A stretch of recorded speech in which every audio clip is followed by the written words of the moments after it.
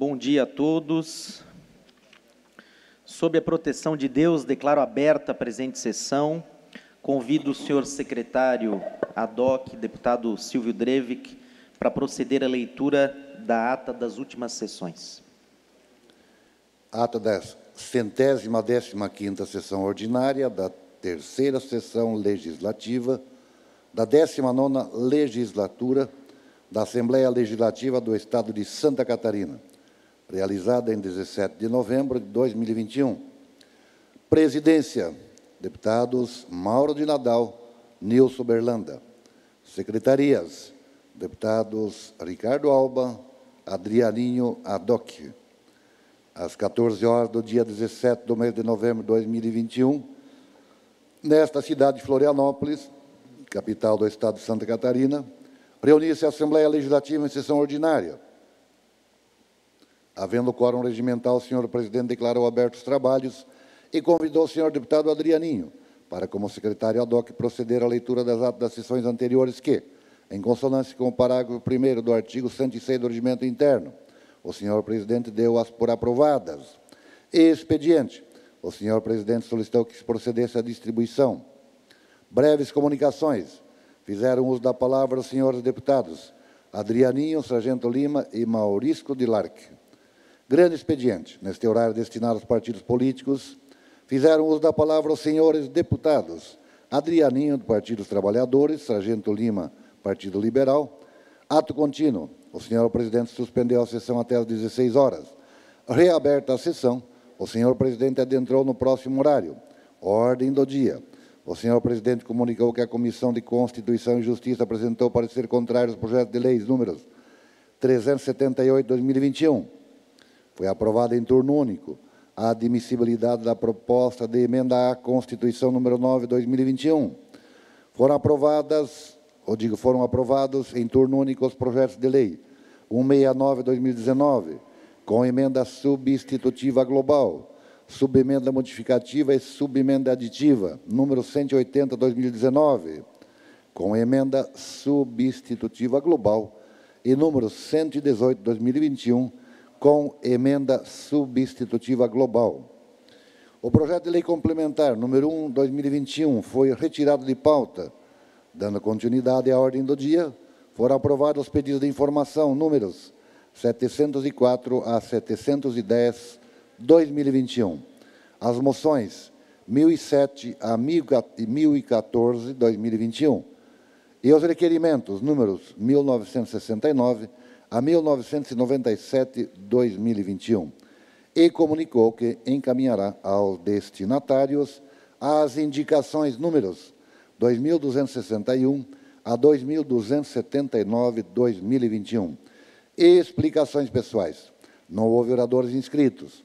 Não havendo mais nada a tratar, o senhor presidente, antes de encerrar a sessão, convocou outra ordinária para quinta-feira no horário regimental.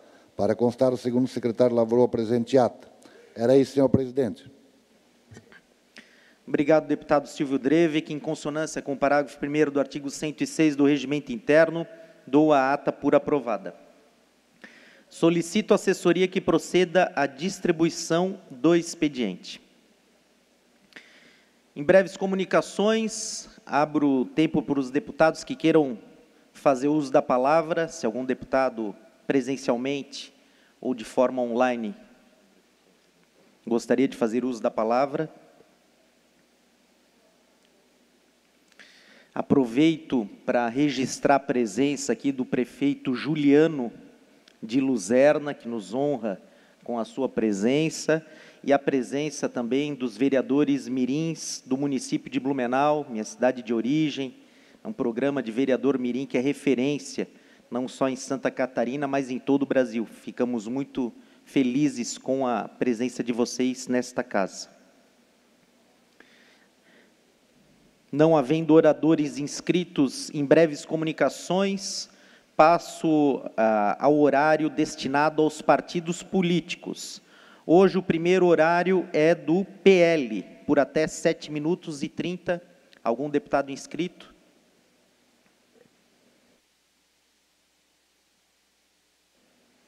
Não havendo oradores inscritos, o horário é do bloco PDT, PSDB, Republicanos.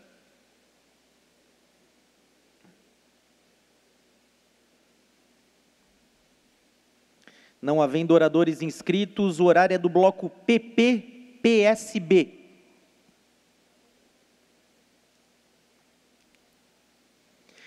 Não havendo oradores inscritos, o horário é do bloco PSD, PSC.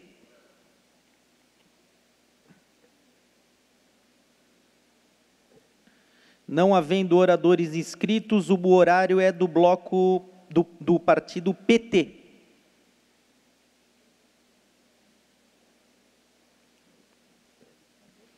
Não havendo oradores inscritos, o horário é do bloco MDB novo.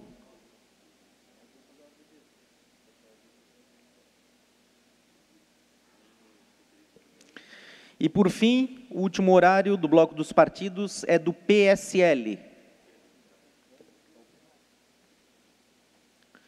Não havendo oradores inscritos, começamos a ordem do dia.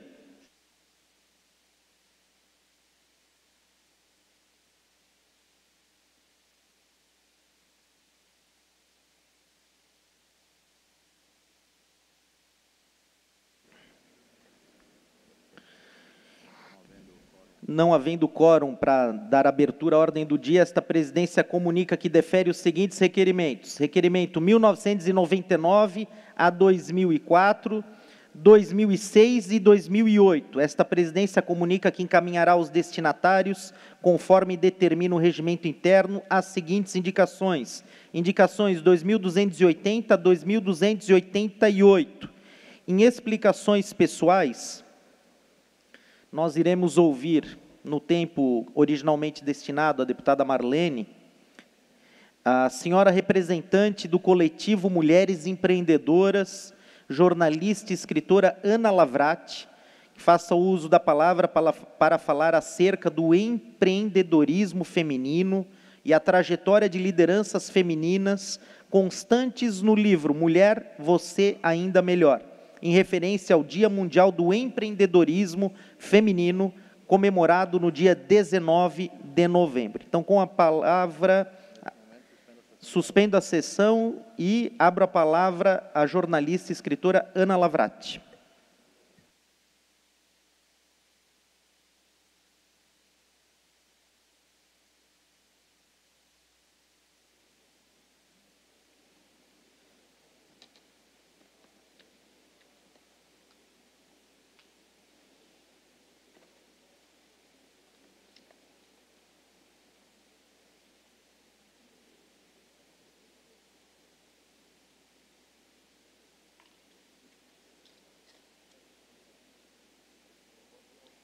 Senhoras e senhores, bom dia. Bom dia, deputado Ricardo Alba, presidente desta sessão.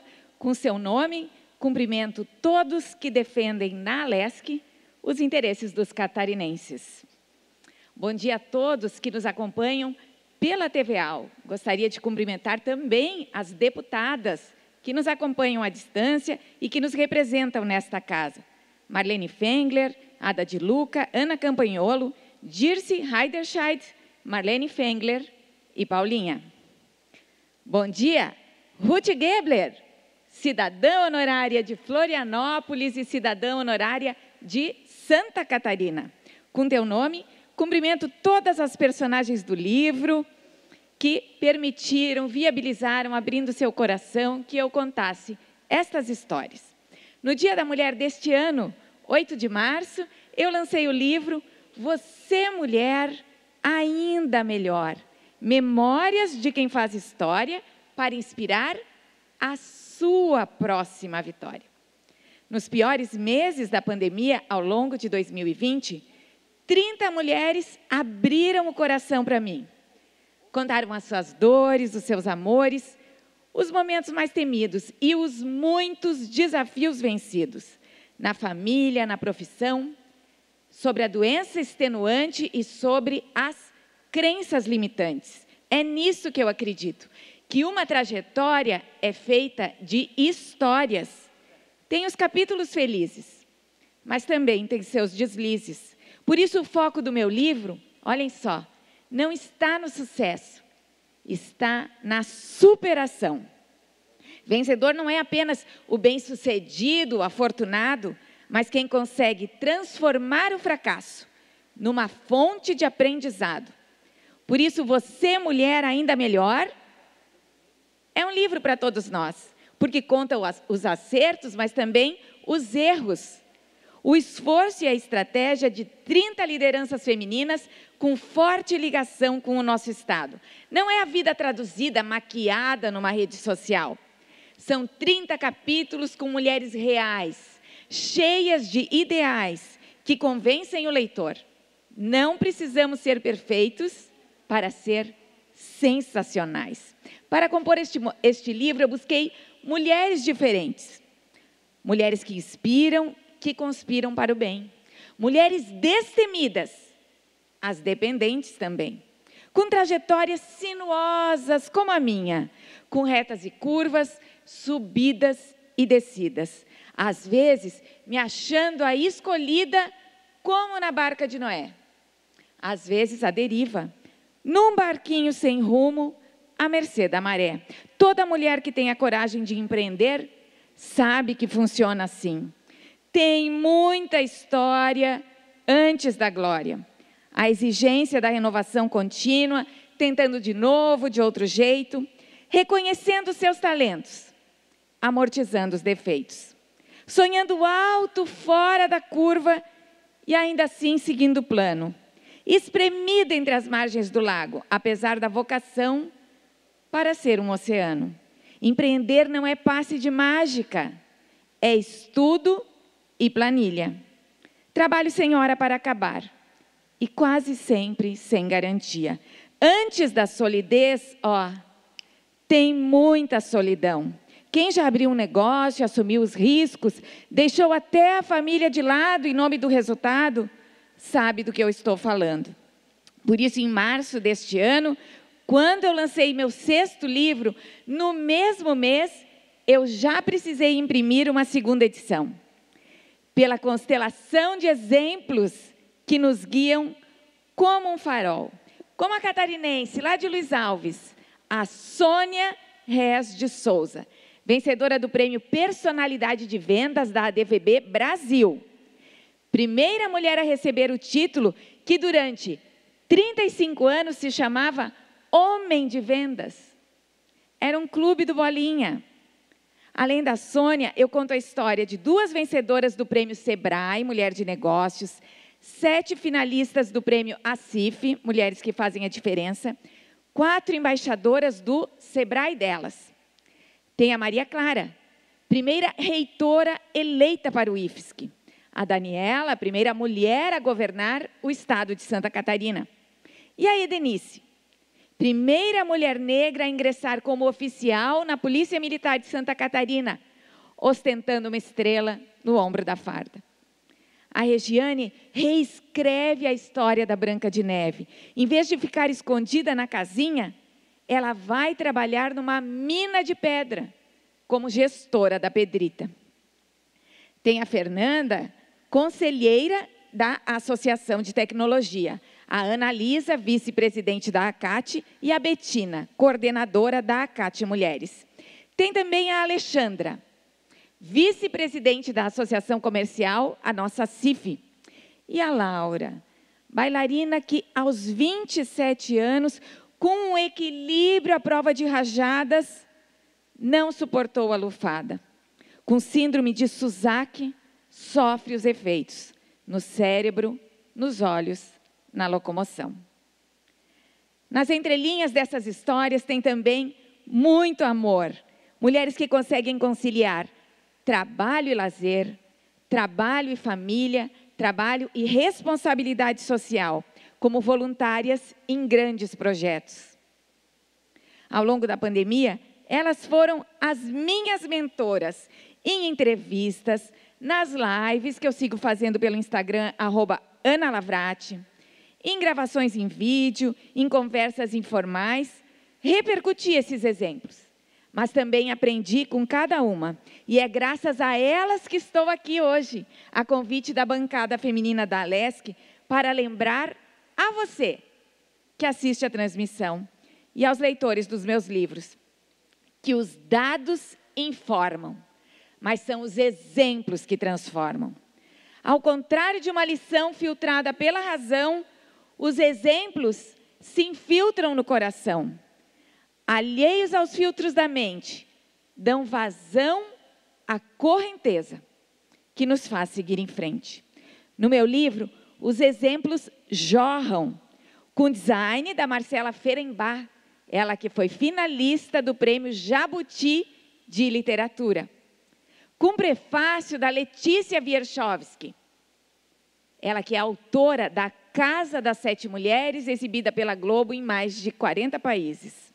Com plano de negócios desenvolvido no Sebrae delas, a formação gratuita do Sebrae para mulheres empreendedoras. Escrever a biografia da Ruth Gebler, Uma Vida em Tom Maior, foi uma formação à parte.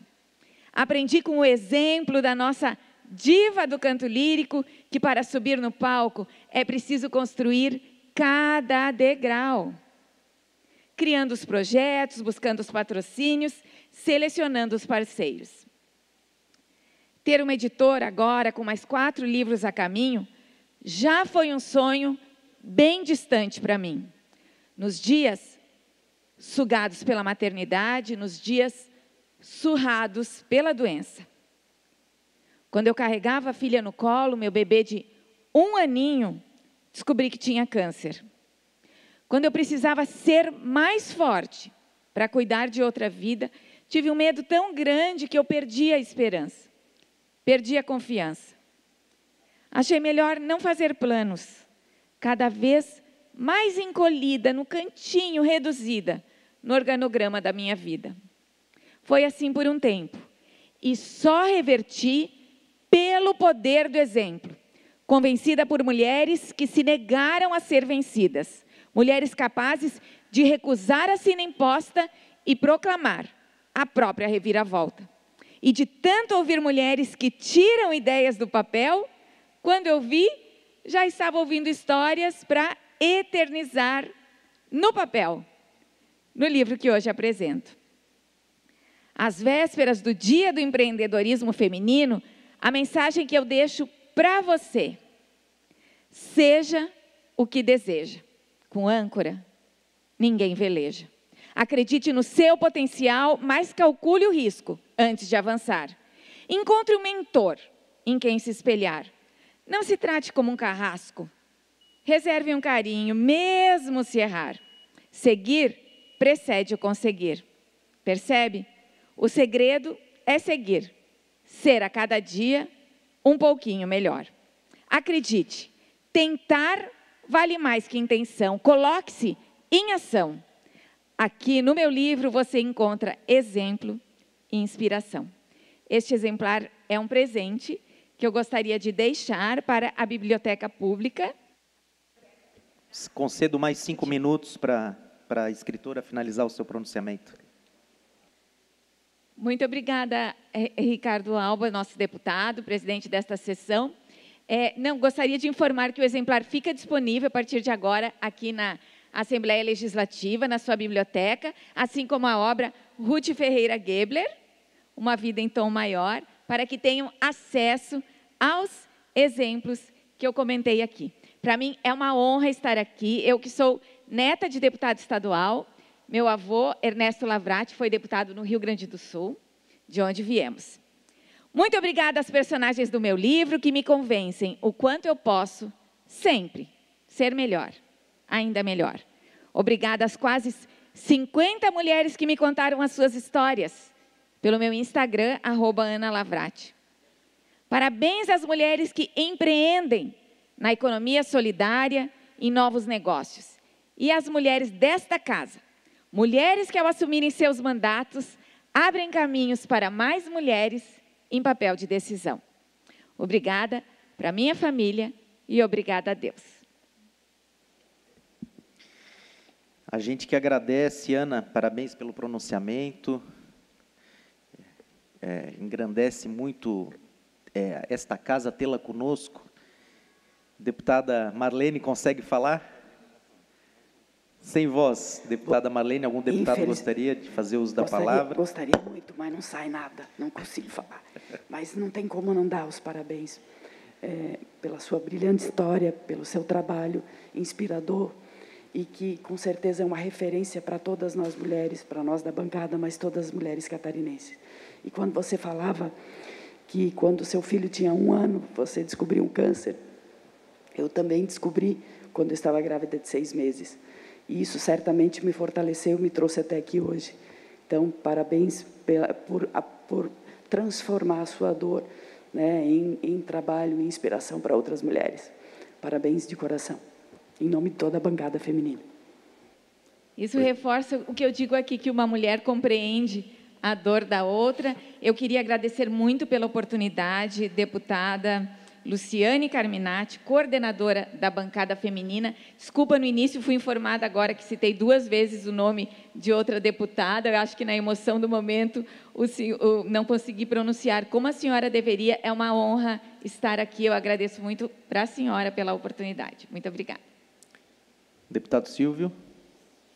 Senhor presidente, deputado presidente desta sessão, deputado Ricardo Alba, minha colega deputada Marlene Fengler, que está prejudicada, mas que é um, um ícone, é um exemplo para todos nós aqui na Assembleia Legislativa e também nos representa muito bem junto à população catarinense.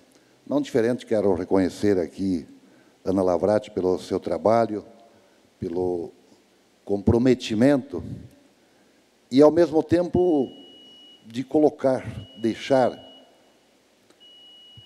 escrito num livro, histórias verdadeiras, concretas, de bons exemplos que podem ser utilizados ao longo de nossas vidas e que vai suceder porque livros, por mais que nós possamos acessar outros, outras tecnologias, ele nunca vai ser substituído. Pelo menos para mim, não. Eu, para fazer leitura, eu, eu faço Posso até ler em, em alguma coisa na internet, mas o livro, no dia a dia, é o que mais me apega, porque é, é algo que é insubstituível. E, ao mesmo tempo, senhora Ana, além do seu exemplo de empreendedorismo, eu sempre tenho dito que as mulheres são múltipla, múltiplas empreendedoras.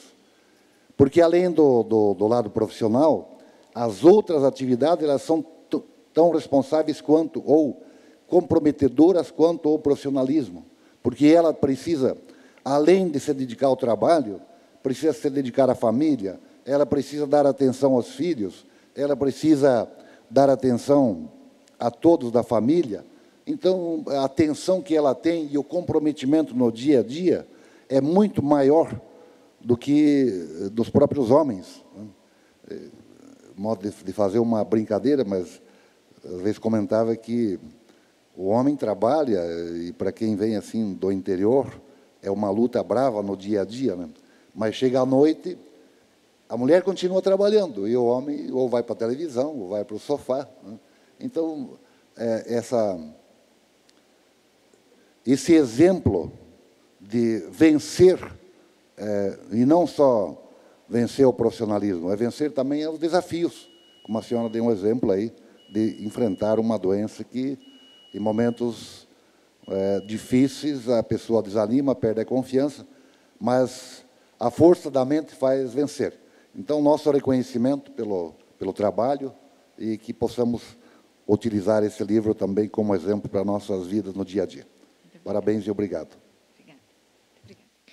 Obrigado, jornalista e escritora Ana Lavrati, um exemplo aí de empreendedorismo, de determinação e parabéns pela obra.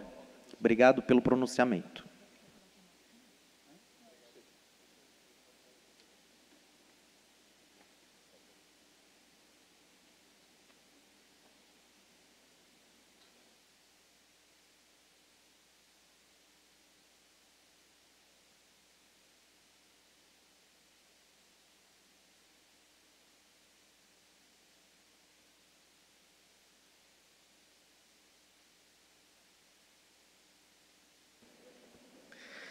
Reabro a presente sessão no horário destinado a explicações pessoais. Algum deputado gostaria de fazer uso da palavra?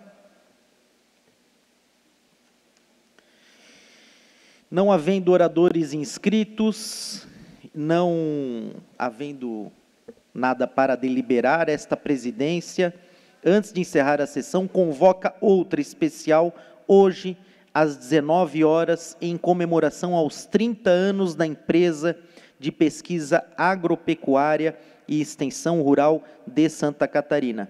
Antes de encerrar a sessão, também gostaria de registrar a presença aqui dos vereadores de Xaxim, vereador Ademir Weber, vereador Rosenir, vereador Matheus e vereador Cleverson Luiz. Obrigado pela presença no plenário desta casa. Está encerrada a presente sessão.